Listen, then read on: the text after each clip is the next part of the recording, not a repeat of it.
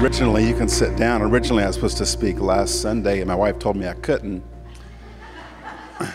because the day before was uh, our youngest son getting married. And uh, so I spoke the morning before my son's wedding, and uh, which my daughter-in-law was appalled at, but she'll soon realize that she has no control over anything involving my life. And I will have a measure of control of what happens in her life. That's not true. But she was like, You're speaking the day of my wedding? I'm like, uh, Yeah. You're going to be sleeping? I'm going to be speaking. But I'm glad I didn't speak the next day because the next day I felt like, uh, no offense if this is offensive to anyone, but I felt like a junior high girl on the verge of tears all day long. And uh, I, I, was like a, a good dad that, that on the wedding day, you simply ask, What time am I supposed to be there? And they tell you, and what am I supposed to wear? And they tell you, and a good dad just wears the right thing and shows up on time. And so I did, and I felt like a good dad. And then I experienced so many things that day that was so moving to me.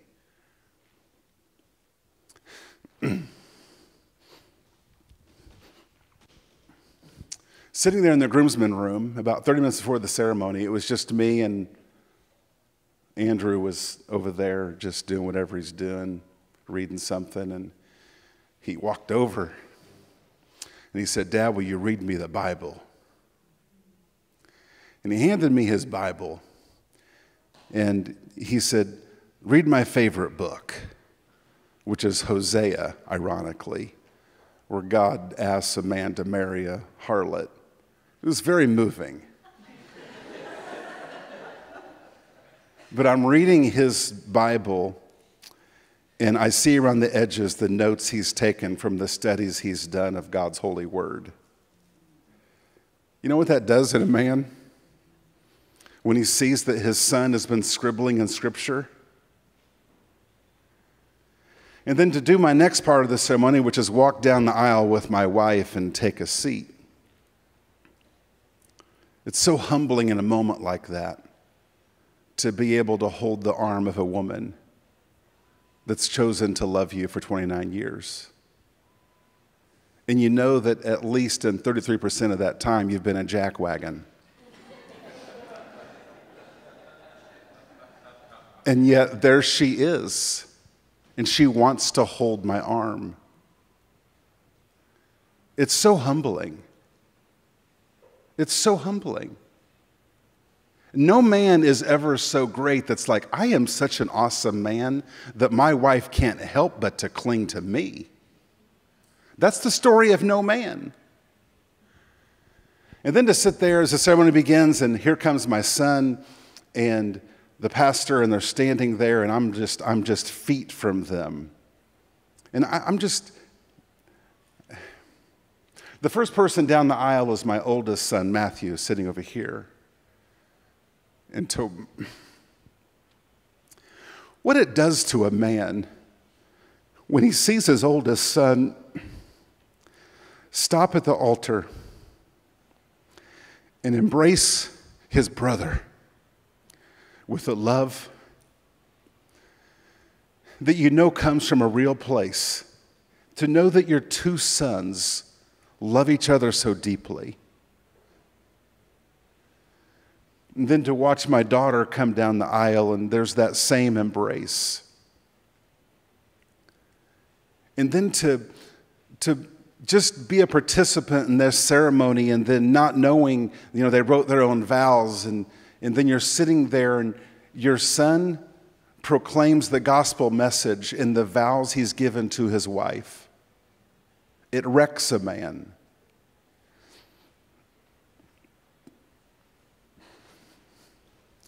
Is this being recorded? and then to go to the reception and be excited about this pulled pork and these instant mashed potatoes and and then to sit there as they do these dances and then there's this you know there's this dance where my son who just got married does a dance with my wife And to watch the two of them, I'll never forget the picture in my mind. That the entire song, they were just locked eye to eye, in, engrossed in conversation. They were engrossed in conversation the whole time. The depth of their relationship. I was so moved, jealous that I couldn't dance with someone, also jealous that I can't dance at all. As you listen to that story, you might make the mistake of thinking, he is such an awesome man that he got to experience those things. That is not the story. There's no such thing as an awesome man. I wasn't such a great father that these things happened. I wasn't such a great man that my wife loves me as she does. I have simply, imperfectly, followed a faithful God. The results of our life don't come from our power, some kind of talent we have. I didn't, there was nothing I did that caused my son to read the Bible and study it. It wasn't like something, some plan I had. I'm going to plan and control. I'm going to get my kids to love the Bible and they're going to study it and write notes in the edges of it. And I've got this perfect plan three steps to cause your wife to always adore you, even when you're a jackwagon. Five steps to cause your kids to grow up and love each other. That's not the story. I wanted to come speak and be so professional today. And then someone chose to sing How Great Thou Art. And I gotta tell you something the story of my life, none of it is how great I was, it's how great He is.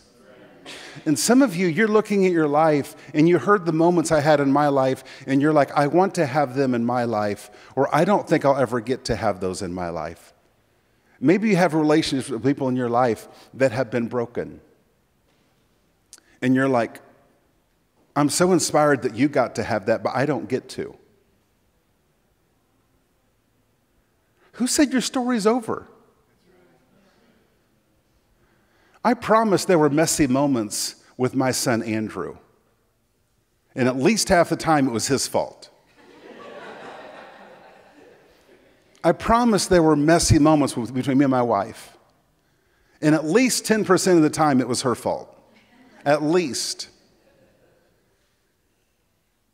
Is there someone here today that you have a mess in your life or in a relationship? And you've decided that it's outside of the love of God to be able to redeem? Have you decided there's something that's happened that's outside of the power of God? Can I tell you? The uglier, the more ugly your story has been, the more great our God can be in the middle of it.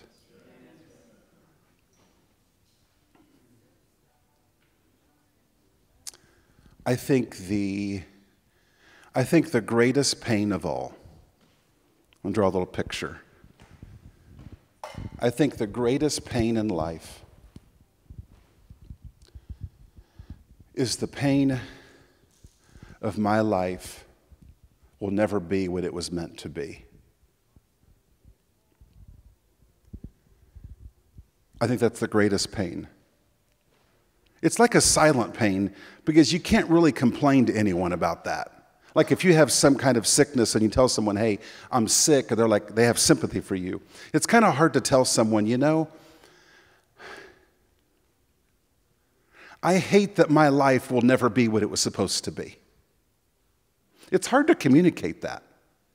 But I'm convinced that that is the heart behind depression, anxiety, suicide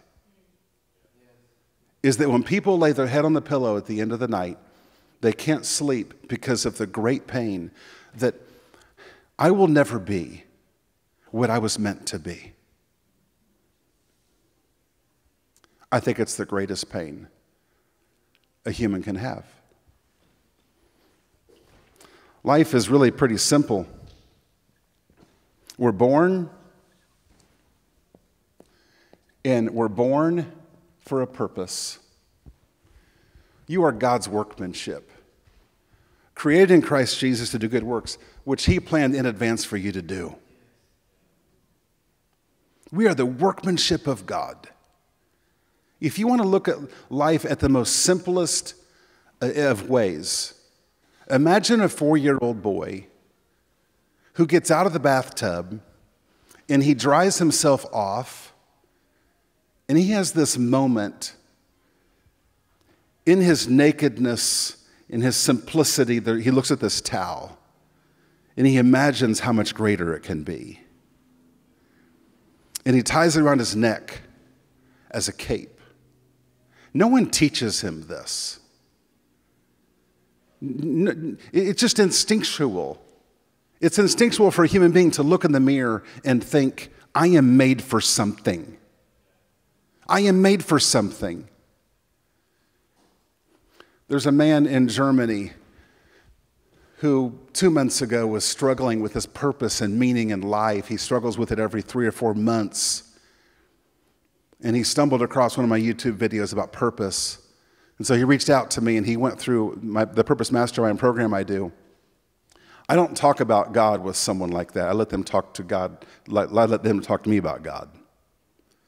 And three weeks in, this man from Germany, he said, This thing in me that, that my life is supposed to be something more, was it put there by God?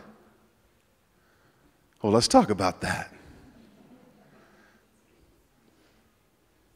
Were you ever that four year old boy looking in the mirror and you're raising up your arms that have no muscle, no, and you just like, but you look in your eyes. You're not thinking about what you look like, you think about what you're made for. Life has a way of making us forget what we're made for and only think about what we look like. Life has a way of making us forget what we were made for and only think about what we look like. What do they think of me? How does my body look? What's my reputation? Do I look impressive to people? Will they like me? Will they accept me? When I look at life in simplicity, we're born and inside of us is this innate thing Ephesians 2:10 I'm the workmanship of God. I'm created to do something in this world. I like to use the word purpose. It brings such meaning. But today what I want to talk about I want to talk about three prison cells that trap us outside of the purpose we were made for. Three things that prevent us from living with the cape on three things that keep us from pursuing our purpose, and instead we're just like locked in a prison outside of the life where we're dreamed, we, we were made for. Have you ever felt that way? You ever felt like the life that you were meant for, you're like locked out of it? The first one, these first two I'm going to talk about very briefly. The first one is trying to perfect your life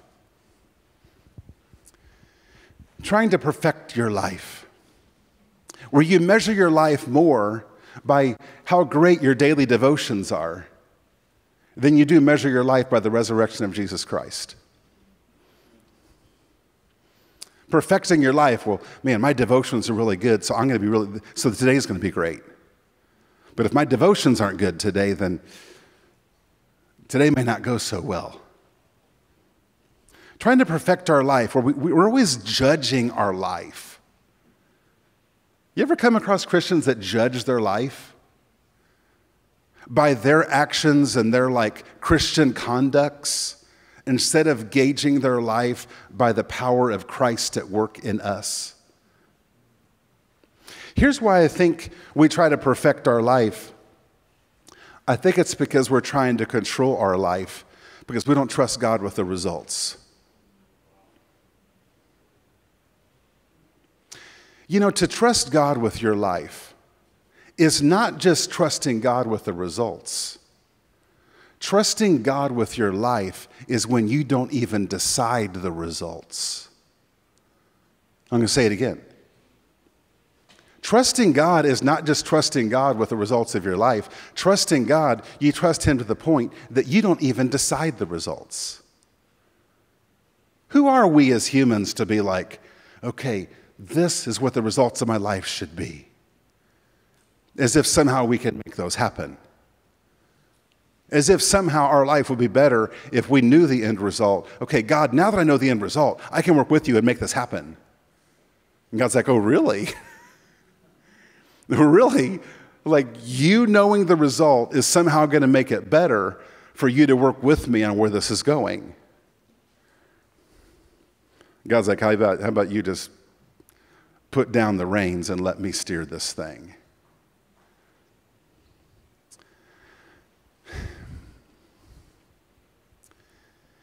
Why, why do we try to control our life? Is it because we're afraid it's not going to work out? Is it because we're afraid it's not going to work out? What if you could move on from that fear? What if that your best what if your best life in God is letting go of control the results so you can follow him boldly? Let's go to the second thing. The second prison that can keep us off this path of purpose is trying to fix our past. Trying to fix our past. I'm going quick on this one. I think there's two ways that we can stay stuck in our past. One is by hiding it. Listen, if you hide your past, that is your statement of faith that nothing good can come from it except except for me hiding it. Hiding your past is your statement of faith that nothing good can come from it. My only choice is to hide it. When you hide your past, you're not just concealing it from people. It doesn't even matter. Like, everyone doesn't even know your past. But when you're hiding your past, you're telling God, what happened to me cannot be redeemed. And God wants to use the worst of what life has brought your way for His glory and your future. Human instinct is I need to do something amazing to move forward in life. That's not Scripture.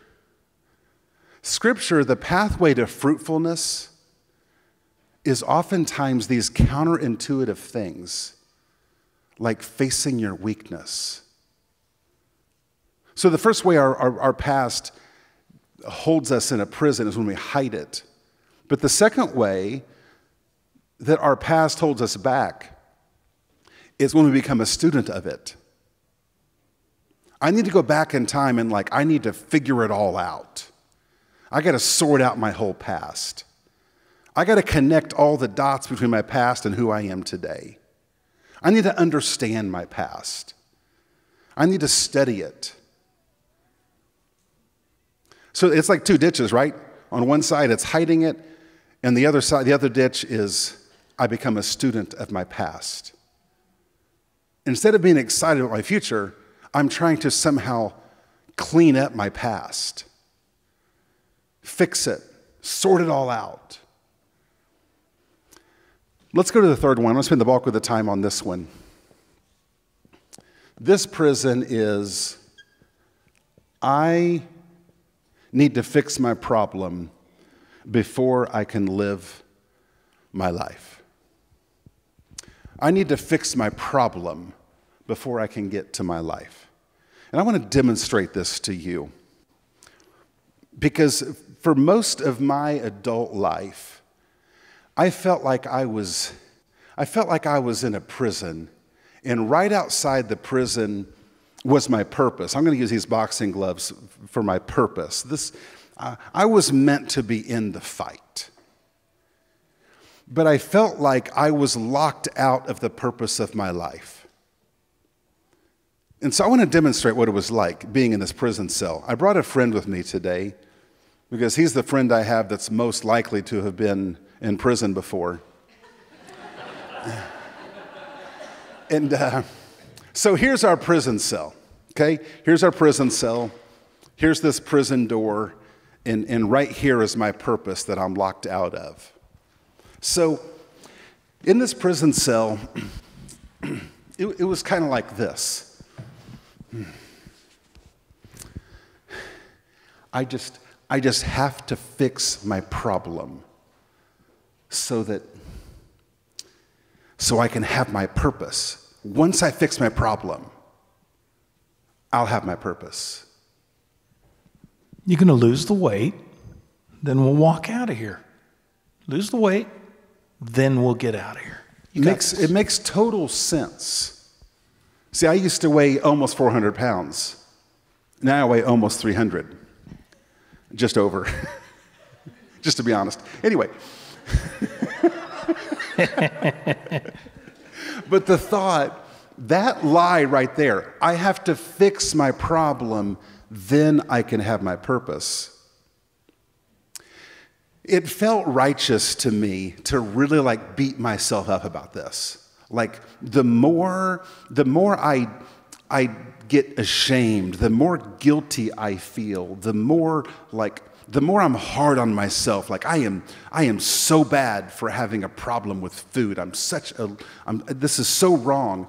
It felt like the harder I get on myself, the more likely it is that I'll get free from this problem. Look at you. I mean, really, you really are a disappointment.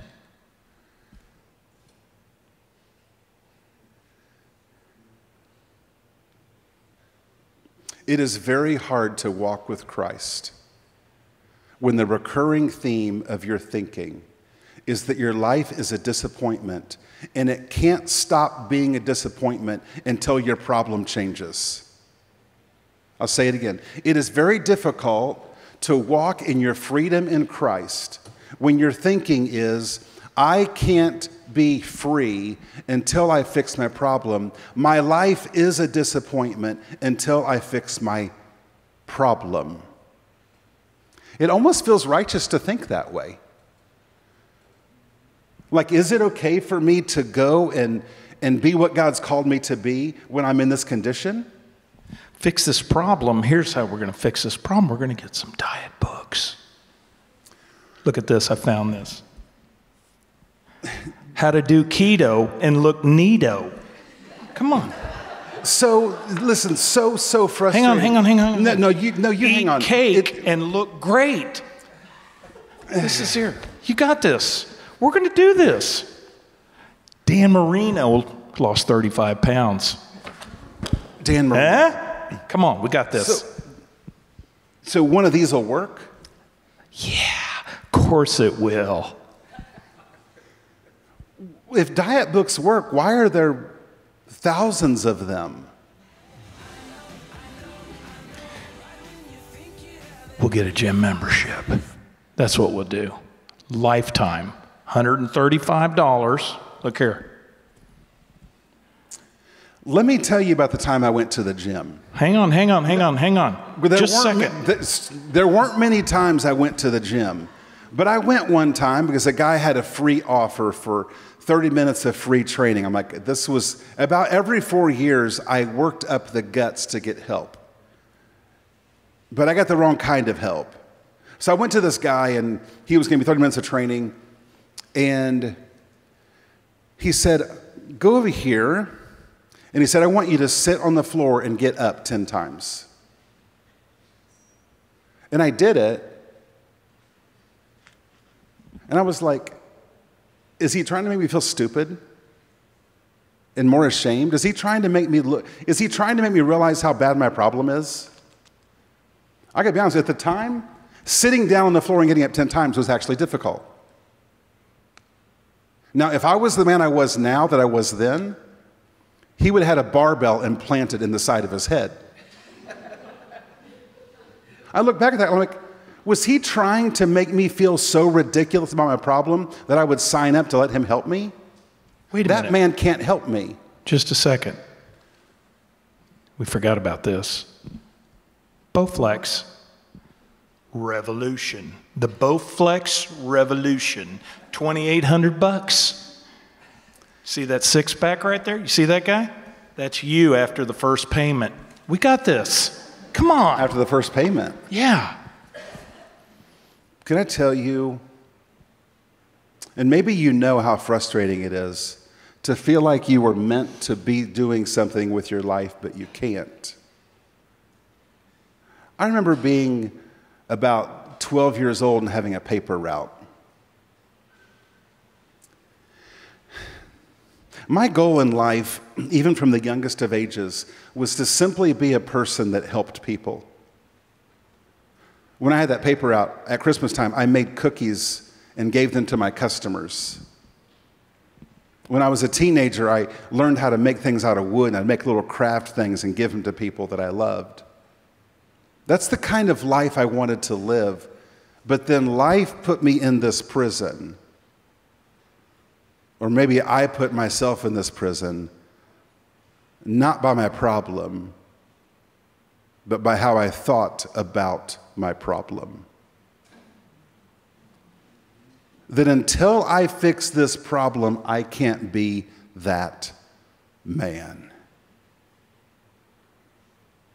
The burden of that. The burden of the only thing I wanted to be in this world, I could never be in this world. That's a good reason to need to eat food. You're getting worked up. Please, you need to calm down. You know how you get. You're stressed out. Shh, shh, shh, shh. I got an idea.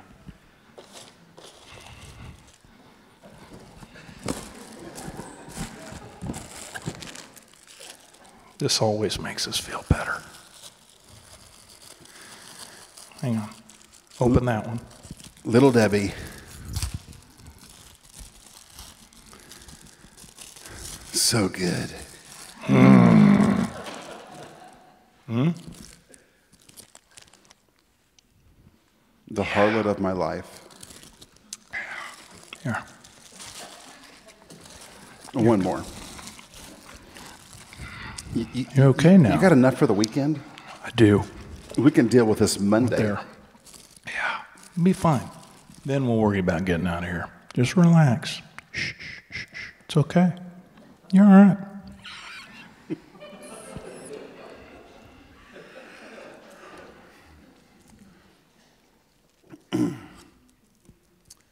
This must be what like communion in hell is like.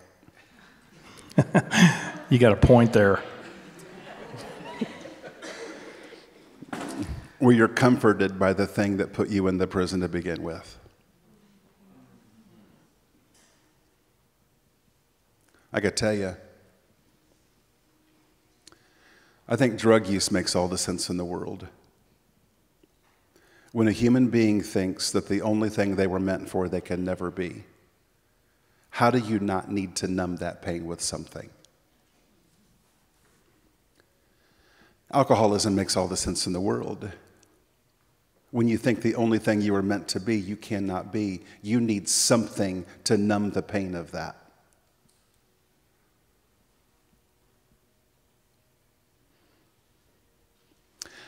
You know, there's a movie called Braveheart. And just like the little four year old boy with a towel, that movie represents so much of the life I wanted to live. William Wallace is this powerful dude and face painted, and he's got a sword in a cool kilt, and he's on a horse, and there's all these men in front of him. And they've got their face painted, and their swords, and the kilts, and the horses. And it's like, I just want to be in that line of men. How you gonna do that? They don't make a kilt that big. So if I so if I change my problem, I get my kilt. If I change my problem, I get my kilt. If I change my problem, then I can paint my face, have a sword, ride a horse, and wear a kilt. The thought that once I change my problem, I can be that person gives the person the perfect need to cope. The pain that my life can't be what it was meant to be will drive a person to anything to numb the pain. You know what our world tells people? Just stop eating little Debbie oatmeal cream pies. But what if it's the only time in my prison cell I feel good? How will I stop? What the world tells people, you need to stop drinking. Well, what if it's the only moment in my day I don't feel like killing myself? How do I do that? We tell our 15 year olds, you need to stop gaming. You're wasting your life. The 15 year old is thinking, you know what, Dad? I think my life is a waste. And the only time I feel like I like me is when I'm playing this game and winning every now and then. So, all the focus by our culture and ourself, which is worst of all, is that I just need to fix my problem and then I can have my life. You're not ready. You deserve to be in jail here. Stay right here. How are you going to serve God? Look at you. You're not ready. Stay here. Yeah, it's wrong to think that God can use you when you have a problem, isn't it? How dare you think that God can use you when you haven't fixed your problem? How dare you think that you can live out your purpose when you haven't cleaned up your life enough? You know, there was a third person in my life all the time, right outside the prison door. I couldn't look at that person. It, it, was Jesus, but I couldn't look at him because I assumed that Jesus was like the prison warden, waiting for me to clean up my act so he could set me free. He was a parole officer at best. I couldn't look at him. The shame of looking at my life and being like, how can, how can I have done this to me? Why am I letting little Debbie oatmeal cream pies bring down my life and destroy me? Why can't I stop drinking? Why can't I stop smoking? Why can't I stop spending money? Why can't I stop watching this stuff? Why can't I? In the shame of it, you could, you could never look up. Can I tell you something that changed my life? When I finally got honest about me instead of hiding me.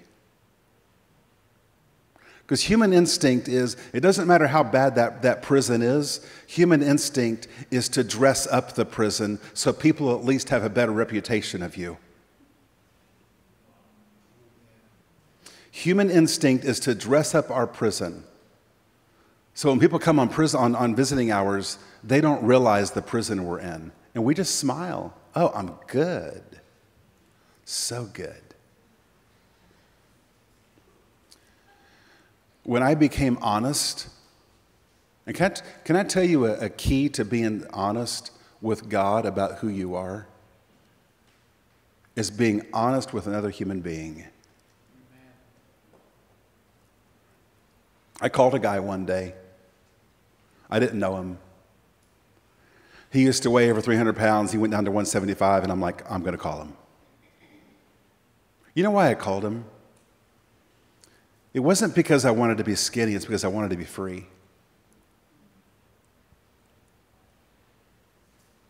The problem you have, the goal of your life is not to not have that problem. The goal of your life is that you be free, which will cause you to have power over the problem.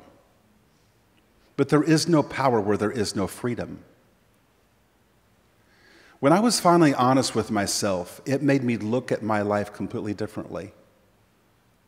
I saw everything differently. When you are hiding yourself, life makes no sense. People make no sense. And you make no sense to people. But when you come out of hiding, the perspective totally changes. I, finally had the guts to, to look up at the outside of the prison door. And I realized that what Jesus was saying was not, hey, you need to fix that so I can use you. Jesus was saying, Come unto me, all who are weary and heavy laden, and I will give you rest. But wait,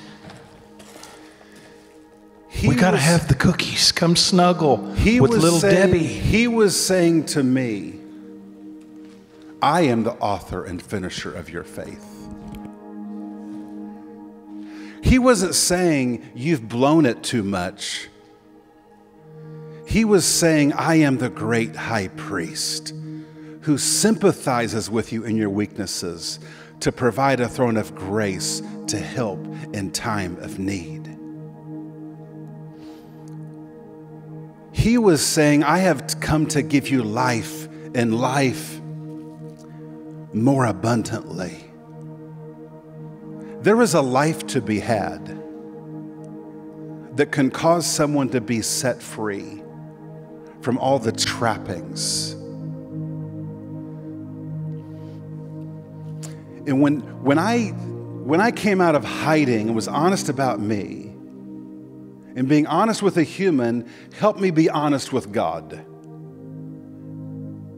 And I realized the gospel was compelling me. See if the door is unlocked. See if it's unlocked. And in my mind, I just, I just, at that time, I was doing boxing workouts. Because it's amazing when you get freedom, you start pursuing your purpose instead of trying to fix your problem. I'll say it again. When you get freedom, you start pursuing your purpose sort of, instead of trying to fix your problem. I compel, I was just compelled that the gospel was, why don't you see if that door is unlocked? And in my mind, I was, I was taking these steps towards this door, and it was so scary. It was so scary because, like, if this door is locked, then I do have to fix my problem before I can live my purpose. In my mind, I went to that door, and it was just so clear to me. I just barely touched it. And it's like the hinges were oiled with grace, and the door just swung open. And I took one step out and looked this way and this way, and there was no one to push me back in. No one. And so I ran.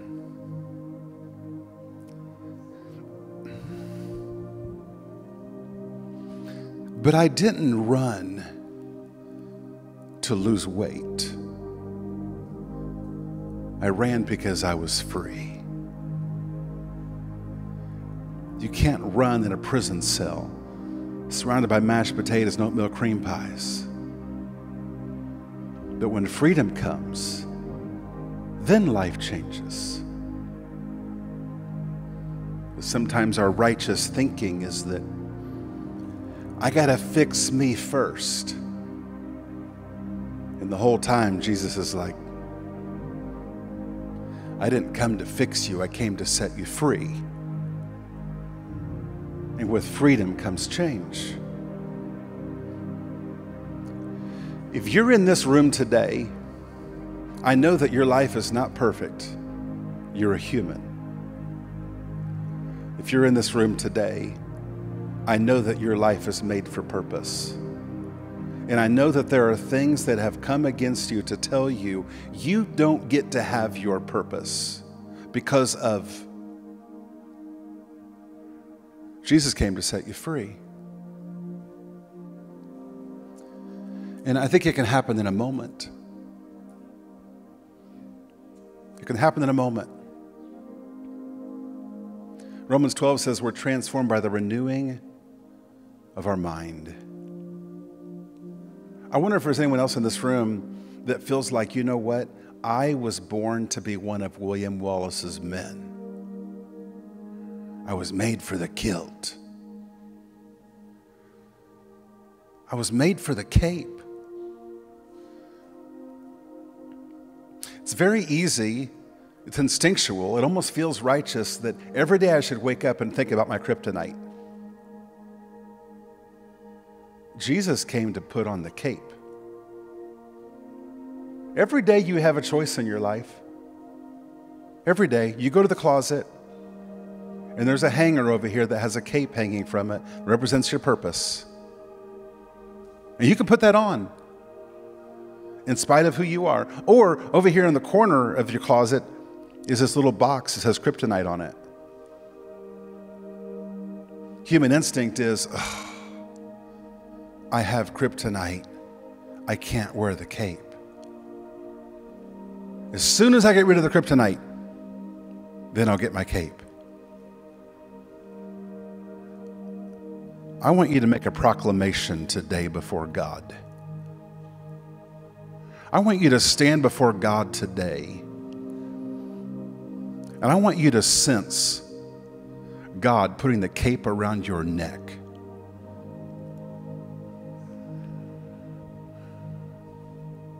The person who thinks, as soon as I change this kryptonite, then I'll wear my cape and live my life, you will never live your life.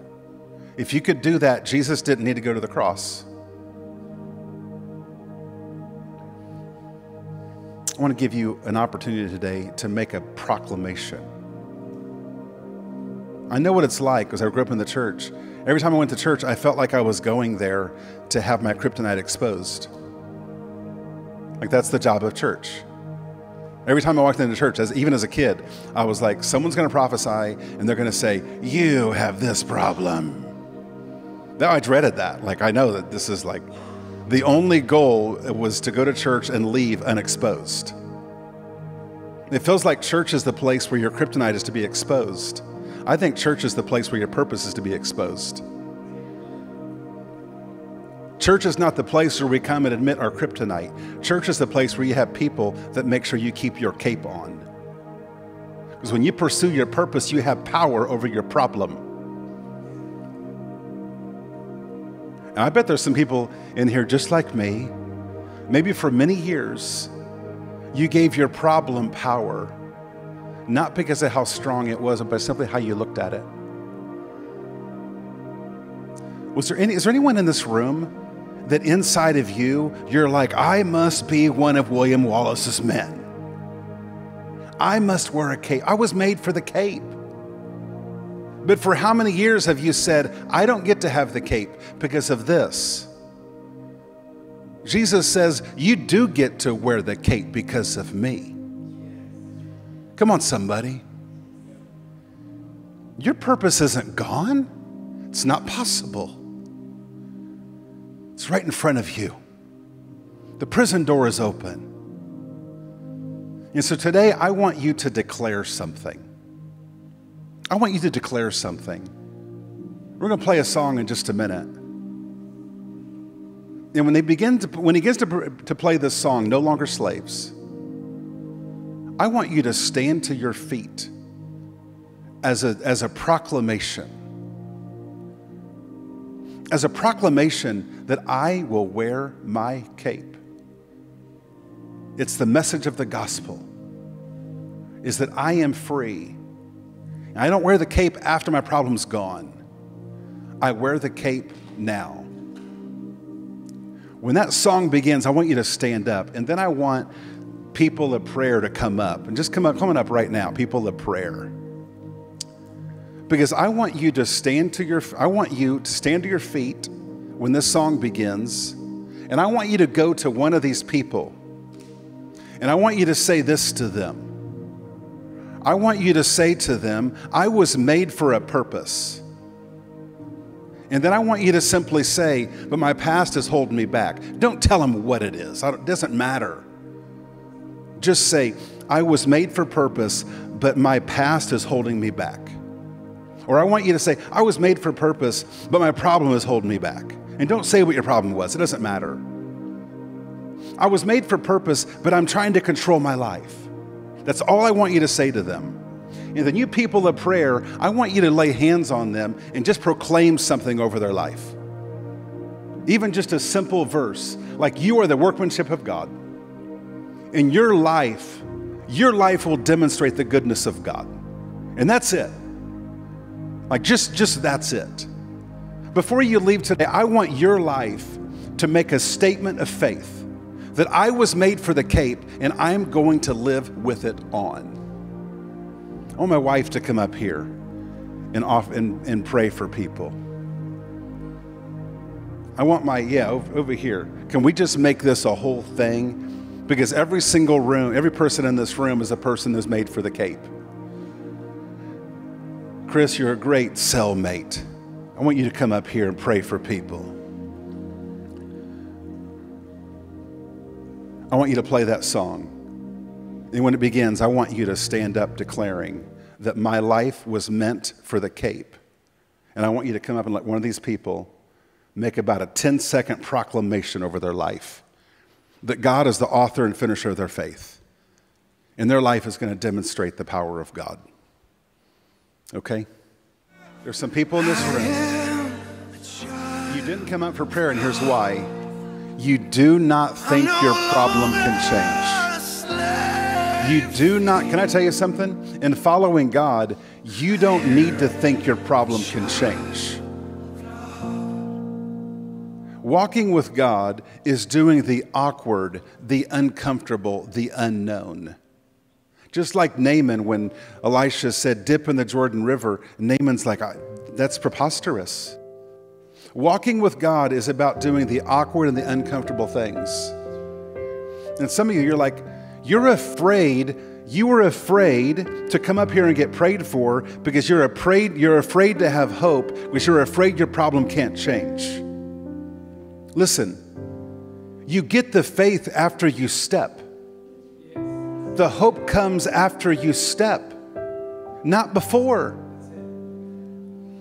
The, the, you stay in the prison cell when you say, Once I feel like I'm over this problem, once I feel like I know how to fix it. No, you step out of the prison cell when you know you can't fix it.